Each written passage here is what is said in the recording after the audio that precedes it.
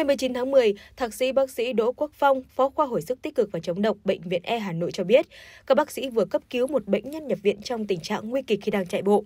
Bệnh nhân NMH, 37 tuổi, trú tại Hà Nội, nhập viện cấp cứu khi đang tham gia giải chạy bộ phong trào. Đang chạy, bệnh nhân thấy chóng mặt, choáng váng và ngất xỉu, được sơ cứu tại bệnh viện gần đó, sau đó chuyển tới bệnh viện E. Tại đây, bệnh nhân H có biểu hiện kích thích vật vã, được đánh giá mất nước, mạch nhanh, huyết áp tụt. Bác sĩ chẩn đoán sơ bộ anh bị sốc choáng, giảm khối lượng tuần hoàn do hoạt động thì lực gắng sức, theo dõi tình trạng tiêu cơ vân. Xét nghiệm máu cho thấy bệnh nhân có dấu hiệu toan chuyển hóa, suy thận cấp, tăng CK trong máu, một loại enzyme xúc tác phản ứng sinh hóa của cơ thể. Bệnh nhân đã được các bác sĩ chỉ định điều trị tích cực, lọc máu. Hai tuần sau, tình trạng bệnh nhân đã cải thiện, có nước tiểu. Bệnh nhân H có tiền sử khỏe mạnh, bản thân anh cũng thường xuyên luyện tập. Tuy nhiên, trước khi giải chạy 3 ngày, bệnh nhân có bị sốt. Hết sốt, anh hát nghĩ mình đã khỏe nhưng tham gia giải chạy. Các bác sĩ cho rằng đây là sai lầm của bệnh nhân và rất nhiều người đang mắc phải đã vô tình gây nguy hiểm cho sức khỏe.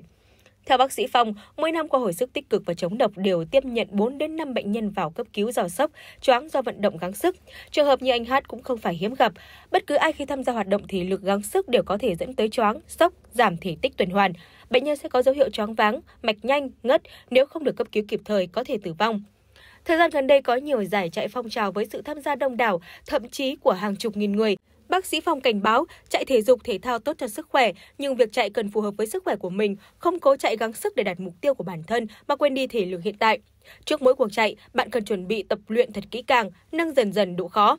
Khi tập thể lực, bạn cần chú ý tới các dấu hiệu như khát nước liên tục dù đã uống nước, choáng, mệt cần dừng lại. Sau khi tập luyện, nếu có biểu hiện đau cơ kéo dài, mệt mỏi, nước tiểu ít, nước tiểu có màu đỏ, người dân cần nhanh chóng tới các cơ sở y tế để được bác sĩ can thiệp.